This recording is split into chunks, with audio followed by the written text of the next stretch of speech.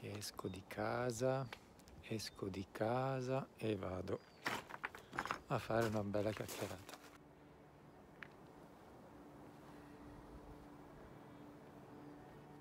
Bene, buongiorno a tutti, eccomi qua dalla Norvegia. Ehm, vi devo innanzitutto ringraziare per l'ultimo video, per i tanti iscritti e per eh, i tanti commenti. Non mi aspettavo questo seguito e vi ringrazio molto. Eh, non me l'aspettavo e questo mi carica di, di piacere e anche di responsabilità, nel senso che voi aspettate da me molte altre notizie, informazioni e quindi sono lieto di darvele. Sto fermo, sto cercando di parlare da fermo, è una cosa che non, che non riesco a, a, fare molto bene, però insomma almeno sono fuori, sono fuori di casa. La mia casa attuale ve la farò vedere più avanti perché adesso è un po' in disordine e quindi la devo, la devo sistemare, diciamo così. Parto dal dire anche che l'affitto della casa qui dipende tutto da, dal contratto di lavoro dal, e dal datore di lavoro. Se il datore di lavoro ti viene incontro, ovviamente l'affitto è, è più facile trovare casa, trovare eccetera, eccetera, eccetera. Quindi è tutto soggettivo. Io vi racconto la mia esperienza in base a quello che ho ricevuto, in base a quello che ho e quindi ecco, mm, è tutto soggettivo insomma. L'importante, ripeto, è trovare persone buone che ti vengono incontro e io sono stato molto fortunato perché mi sono venuto incontro in tutti i sensi. Volevo parlare mm, innanzitutto del, del caro vita, visto che tanti hanno mi hanno detto sì ma il caro vita com'è eccetera eccetera eccetera allora io penso, io parto innanzitutto dal definire un risparmio primario, nel senso che quello in cui non compro nulla perché c'ho già, mm, me lo dà già tramite il lavoro che faccio, quindi ho un risparmio mm, abbastanza considerevole. Mm, diciamo che non compro per vivere, non compro l'acqua, non compro la carta igienica, non compro saponi, shampoo, detersivi, dei piatti, dei vestiti, eccetera, tovaglioli, eccetera, eccetera, eccetera. Perché appunto eh, al lavoro mi procuro queste cose. Quindi l'acqua che in realtà costa mm, 8-9 kroner minimo, quindi si parla di 0,80 centesimi o anche meno eh, a bottiglia, fino ad arrivare a 15-20 corone, 25 corone, dipende. Poi qui hanno mm, la, diciamo, la moda di, di aromatizzare l'acqua eh, gassata con vari gusti al limone, al lampone, eccetera, eccetera, eccetera. Ma questa è un'altra cosa. Quindi l'acqua io la risparmio perché vado a prendermela. Ho comprato una bottiglia di 5 litri e vado a prendermela in campeggio dove c'è Dirkeva, Dirkeva è l'acqua potabile. E diciamo che l'acqua rispetto all'Italia diciamo che costa doppio, minimo, minimo, anche perché in Italia vabbè come sono i prezzi 0,40, 0,50 a bottiglia, sì diciamo di sì. La carta igienica costa parecchio qua in Norvegia dai 2-10 euro visto. Mm, pacco grande. Il sapone e lo shampoo costano uguali più o meno all'Italia. Non ho visto grandi differenze come per i detersivi piatti e per i vestiti.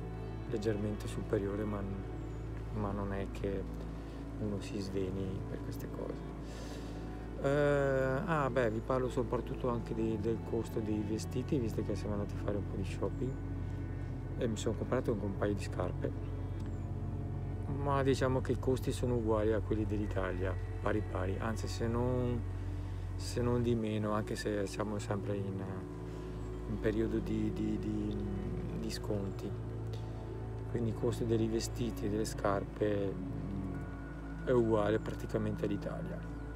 Ecco, questi sono i prodotti che evito di comprare perché appunto già ce li ho, me li procuro, me li procuro gratuitamente, diciamo, tramite il lavoro.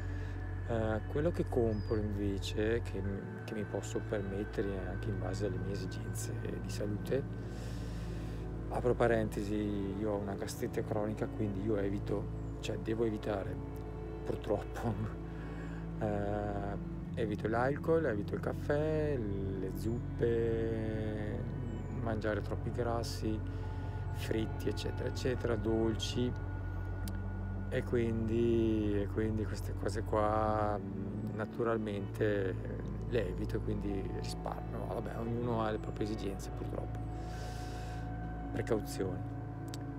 Eh, su questa cosa, su questo risparmio secondario, che io definisco secondario, ho, ho definito un foglio Excel, un semplicissimo foglio di calcolo con il mio paniere quello che compro io e vi faccio vedere, le, eh, vi faccio vedere cosa compro, ma non per, vedere, per far vedere cosa compro, per vedere, far vedere il confronto tra euro e corona norvegese.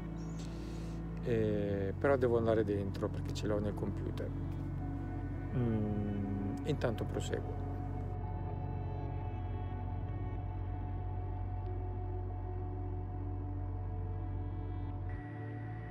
Um, diciamo che io sono venuto in auto, quindi non prendo il bus, non prendo autobus, cioè potrei prenderlo ma non c'è la macchina. Non prendo, non faccio biglietti nemmeno per il treno. E comunque ho sentito dire che i biglietti del bus, dell'autobus sono molto cari. E anche quelli del treno. Ci sono i vari pedaggi lungo le strade eh, perché ci sono molti tunnel, quindi vi arriva, arriverà a casa mm, automaticamente il conto da pagare eh, delle autostrade norvegesi mh, mm, direttamente a casa dopo qualche mese. Quindi se non vi registrate sul sito del traffico norvegese vi arriva la bolletta da pagare con, con bonifico e comunque anche i pedaggi delle strade sono molto cari. Mm, diciamo che la Norvegia è piena di tunnel perché è piena di montagne. Quindi per non, non rovinare la montagna si fanno i tunnel ed è una bella cosa diciamo. Ecco questo sono eh, I traghetti, anche quelli sono molto cari, però per esempio oggi ho preso un traghetto qua che parte proprio da Shinsarvik ed è fatalità gratuito e quindi ho, ne ho approfittato, l'ho preso e ci siamo fatti un bel giretto insomma su una penisola. Eh, ecco, quindi comunque trasporto purtroppo in Norvegia mh, si paga, si paga bene. E costo carburante Hmm. Costo carburante eh, qui va dai 20 corone al litro ai 25 corone al litro, dipende, dipende dal posto, dipende dalla zona, dipende dal, dal giorno.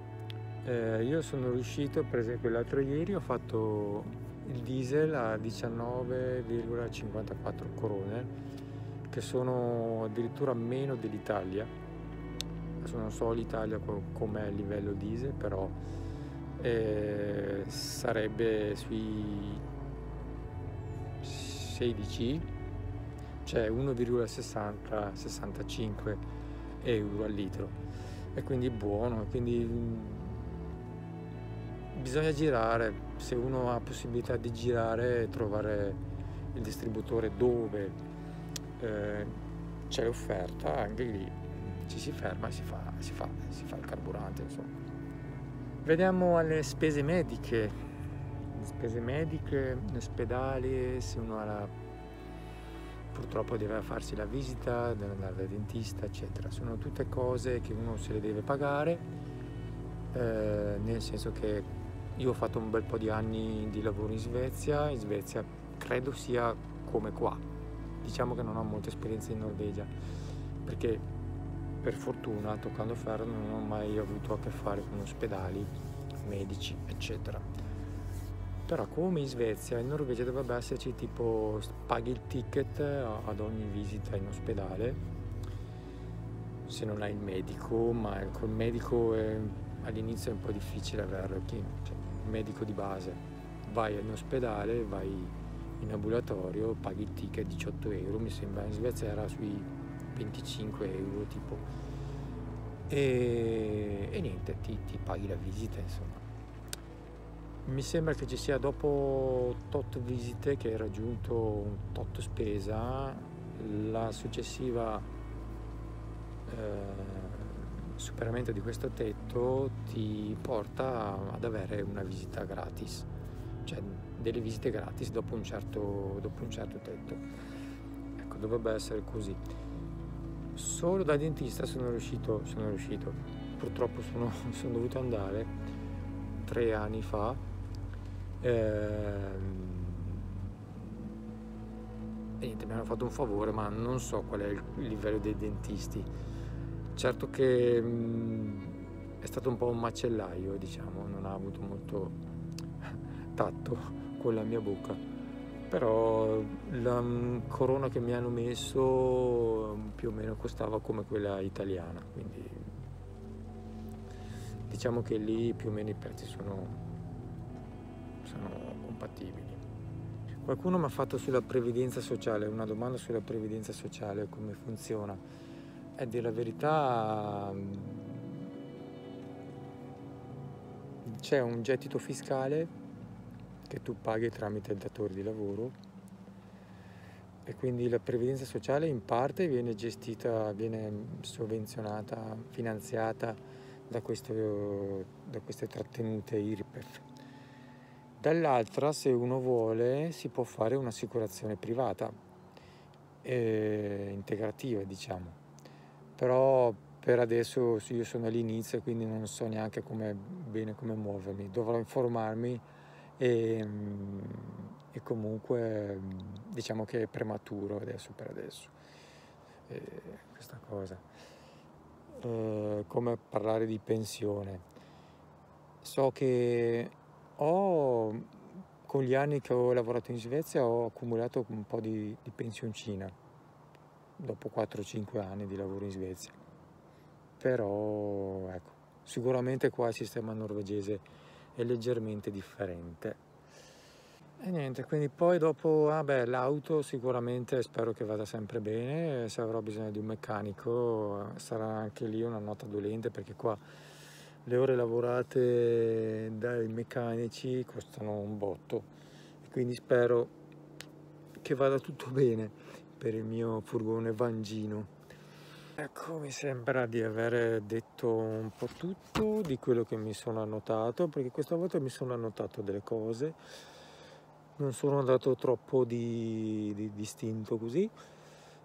Eh, se avete tante altre domande me le fate e io cercherò di rispondervi qui sotto nei commenti.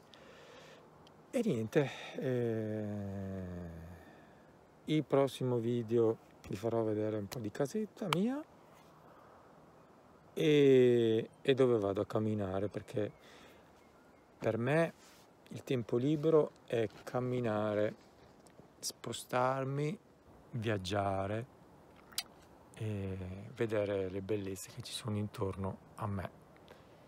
Ecco, quindi vi abbraccio e vi ringrazio molto del vostro seguito, dei vostri commenti e, e al prossimo video.